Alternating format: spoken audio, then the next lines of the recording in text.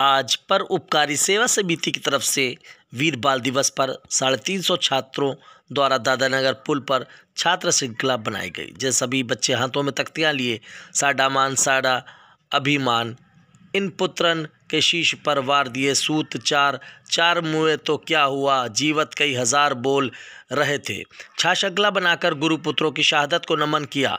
याद रहे, पर उपकारी सेवा समिति लगातार इन बच्चों में भारतीय संस्कृति भरने की पुरजोर कोशिश करती रहती है। इस कार्यक्रम में मुख्य रूप से राजविंदर कौर, मनमोहन सिंह, अंजू दुबे अंजनी कटियार मिली, मिश्रा, आंचल, शिखा, सोनी, सुमित वर्मा, सोनिया यादव, अनन्या वर्मा, अंजलि, राधा सोनी आदि मुख्य रूप से शामिल हुए।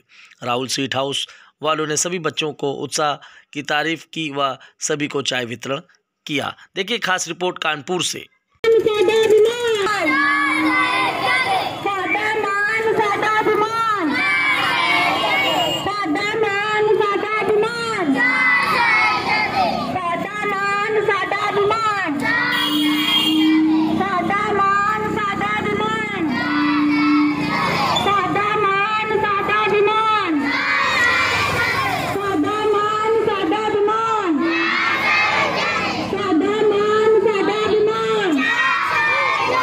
के रूप में मना रहे हैं, उस पर आपका क्या कहना है? बहुत बहुत धन्यवाद। प्रधानमंत्री महोदय जी का, मुख्यमंत्री जी का, जिन्होंने हम लोग की चार साल की इस चीज़ की मांग को, कि जो हमारी भारतीय संस्कृति है, उसको बचाने के लिए जो शहीद हुए, नमन, उनको हम लोग सब मिल के आज नमन करने के लिए एकत्रित हुए थे, छात्र श्रृंखला बनाई, और प्रधानमंत्री जी का, मुख्यमंत्री जी का बहुत बहुत धन्यवाद कि उन्होंने वीर बाल दिवस के रूप में कार्यक्रम चालू किए। ये दादा नगर पुल पर उपकारी सेवा समिति द्वारा के सारे स्टाफ के द्वारा और सभी बच्चों द्वारा मिलकर ये बाल अपनी अपनी छात्र श्रृंखला बनाई है और ये पूरे भारत में, पूरे भारत में इस तरह का आयोजन किया जा रहा है।